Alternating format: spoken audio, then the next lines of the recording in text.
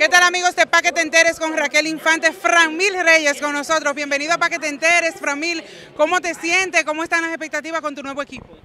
Hasta, ahora, primeramente, gracias a Dios, me siento bastante bien, eh, súper saludable y con ganas de seguir dando el día a día, tú sabes, un equipo nuevo, pero con la misma meta. Tratar de llegar a los playoffs primeramente y después de ahí que sea lo que Dios quiera, a ver si ganamos la Serie Mundial.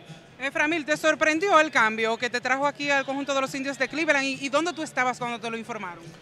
Bastantemente, me, sorprendió muchísimo. Estaba en, allá en el apartamento en San Diego. Recuerdo que al siguiente día teníamos día libre, íbamos a jugar con, los Dodgers.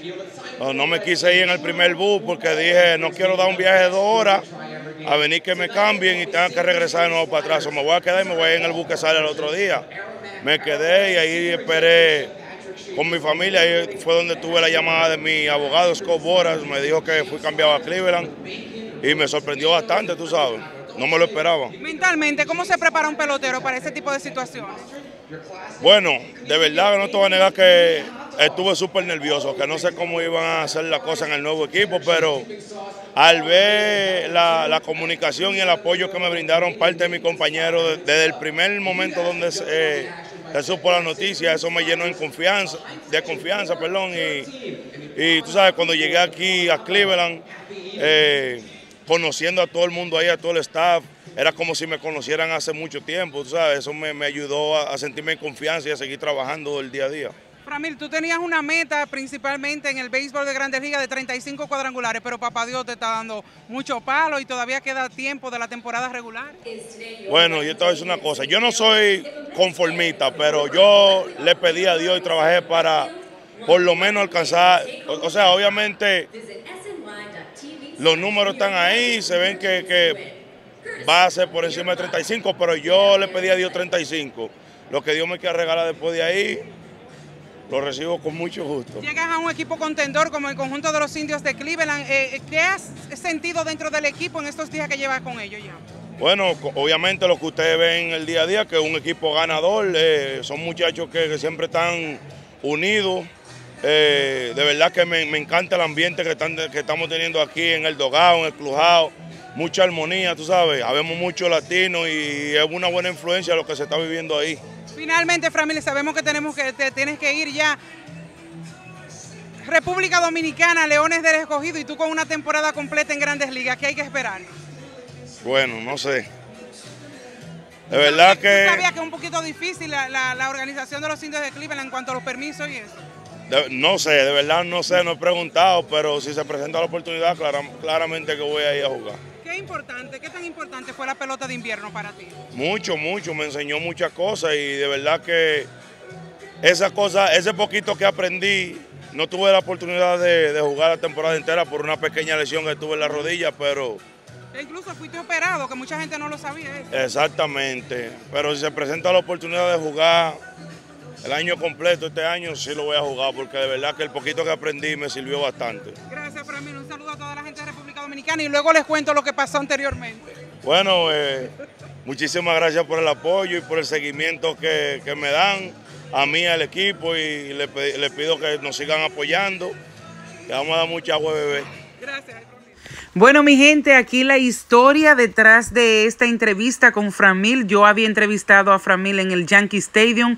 Lamentablemente esa entrevista tuvo problemas y no pudo salir al aire. Pero comenzando desde el principio y un poquito rápido porque sí quiero contar lo que pasó con Framil porque es la primera vez en mi carrera que me pasa.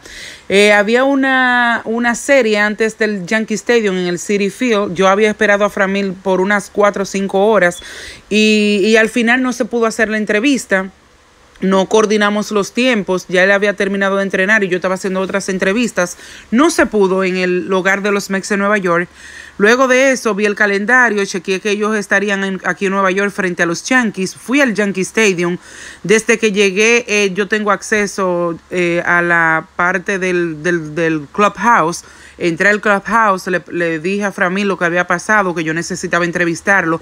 No hubo ningún problema. Framil es un muchacho grande, muerto de risa. Me dijo, te toca más de cinco minutos porque yo sé que tú me estabas esperando. Al final, él me dijo, vamos a hacerlo cuando ya yo salga, cuando, cuando tome práctica de bateo y eso.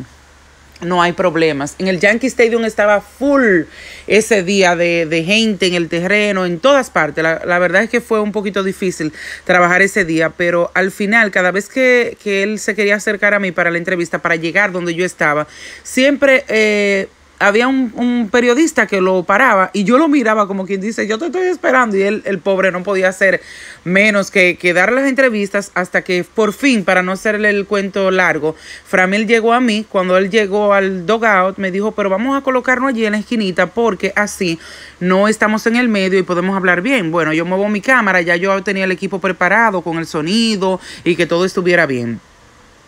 Pues bien, nos movimos a esa parte donde ustedes no están viendo ahí en sus pantallas, pero hubo un error, quizás por la rapidez no vimos, yo no me percaté del audio. Y oh sorpresa cuando llegué a mi hogar, señores, es la primera vez que me pasa, e-, esa entrevista fue para mí una de mis mejores entrevistas este año. Por cómo él se abrió conmigo, por cómo me dijo todo lo que estaba pasando, por su mente, todo. Eh, finalmente no pude hacer nada con la entrevista porque no se grabó absolutamente nada de audio, nadie grabó el audio porque siempre, casi siempre me ponen teléfono y eso para grabar para otros programas, no pasó. Obviamente yo me sentía muy, muy, muy, pero muy mal porque sabía el tipo de entrevista que había hecho y finalmente no pude mostrarles a ustedes ese material. Cuando chequeé el calendario de grandes ligas y vi que ellos tenían otra oportunidad en el City Field, o sea que seguían corrido aquí en la ciudad de Nueva York, inmediatamente me acredité y cuando fui al City Field, entonces entré otra vez al Clubhouse y hablé con Framil y le dije, adivina qué, y me dice, ¿qué? Digo yo, mira, mira tú mismo por tus propios ojos. Y le di mi teléfono. Cuando Framil está diciendo, oh, pero mira qué chula quedó, mira las imágenes, pero él está dándole el volumen y me dice, pero digo yo, no, no busques audio que no hay. Dice él, ¿qué? Digo yo, no. Y yo necesito, por favor, que tú me des cinco minutos más o tres minutos que yo lo hago en tres yo no puedo terminar esta temporada sin saber lo que va a pasar con los equipos en las siguientes etapas, sin entrevistarte. Y me dice, no, no, no, no te preocupes por eso. Yo hoy no voy a, no estoy en la alineación. Cuando yo salga y, y tome práctica de bateo, espérame que no hay problema. Señores, así fue.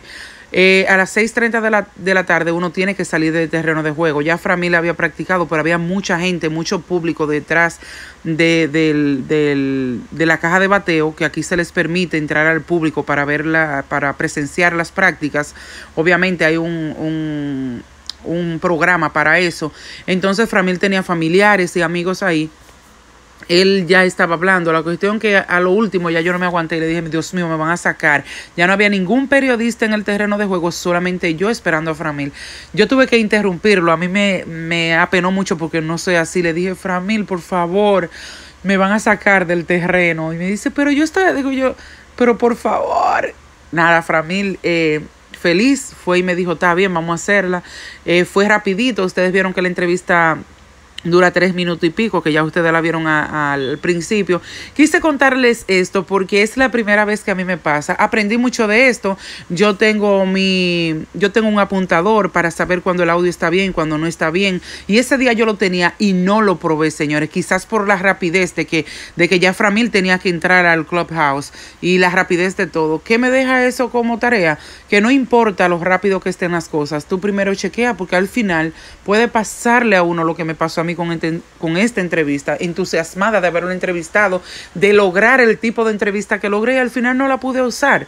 Quizás por, por eso, por, por la rapidez, por, por, por no querer quitarle más tiempo al jugador.